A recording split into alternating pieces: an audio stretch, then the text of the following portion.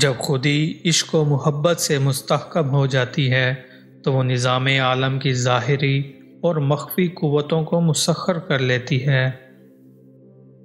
जब खुदी इश्क इलाही से मुस्तकम हो जाती है तो इसकी क़वत ज़माने पर हुक्मरानी करने लगती है।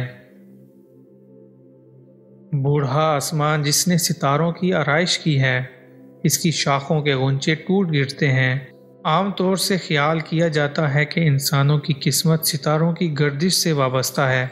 इकबाल फरमाते हैं कि जो शख्स अपनी खुदी मुस्तकम कर लेता है, वो खुद तकदीर का फरमा रवा हो जाता है और सितारे इसके सामने बेमानी हैं। इसका हाथ अल्लाह ताला का हाथ हो जाता है। इसकी उंगली के इशारे से जान दो टुकड़े हो जाता है। ऐसा शख्स दुनिया के मामूलात के फैसले करता है। दारा जम जैसे बादशाह भी इसके हुक्म के ताबे फरमा हो जाते हैं। मैं तुम्हें बू अली कलंदर रहमतुल्लाह अलैह का वाक़ सुनाता हूँ। अतराफ़ हिंद में इनका नाम मशहूर है।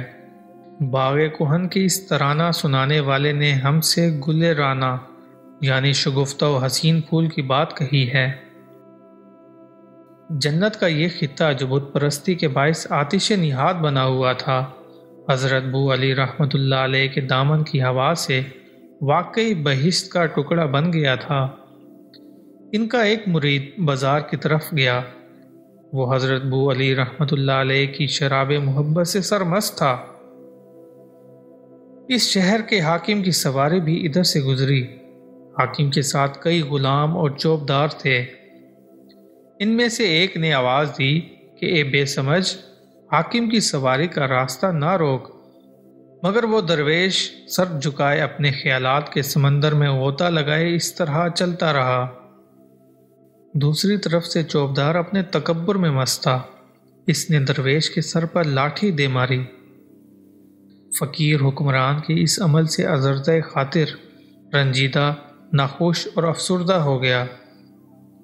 इस फ़कीर ने हज़रत बू अली अलैह के सामने फरियाद की। और आँखों से आँसू बहाए। इसकी फरियाद सुनकर शेख बू अली रहमतुल्लाह अलैह पहाड़ पर गिरने वाली बिजली की मानंद अपनी गुफ्तगु से शोला बार हुए। साथ ही इसके अंदर से एक और तरह की आग ने सर उठाया। अपने मुंशी को बुलाकर फरमाया, कलम उठा और फ़कीर की तरफ़ से बादशाह की तरफ़ फरमान लिख। मेरे दरवेश को तेरे आमिल ने सर पर लाठी मारी है। गोया इसने ऐसा काम किया है जो इसकी मताए जान को जला देगा। इस बद निहाद आमिल को यहाँ से वापस बुला, वरना मैं तेरी बादशाहत किसी और को दे दूँगा। इस खुदा रसीदा बंदे के मकतूब ने बादशाह के बदन पर कप कपी तारी कर दी। इसके रगो पै में रंजो गम का तूफ़ान उमड़ आया और इसका चेहरा आफ्ताब शाम की तरह जर्द पड़ गया। इसने हाकिम की गिरफ्तारी का हुक्म जारी किया और कलंदर से अपनी गलती की माफ़ी का तलबगार हुआ। अमीर खुसरो, जो शीरी ज़बाँ और रंगीन बयां थे, जिनके नगमे गोया ज़मीर कायनात के अंदर से फूटते थे, जिनकी फितरत चांदनी की मानंद रोशन थी, इन्हें अपना सफ़ीर बनाकर भेजा। जब अमीर खुसरो ने कलंदर के सामने सास से नगमा गाया तो उनकी आवाज़ ने दरवेश के शीशे जाँ को पिघला दिया। वो सतवत जो पहाड़ की मानन मुस्तकम थी, एक नगमे ने इसे खरीद लिया।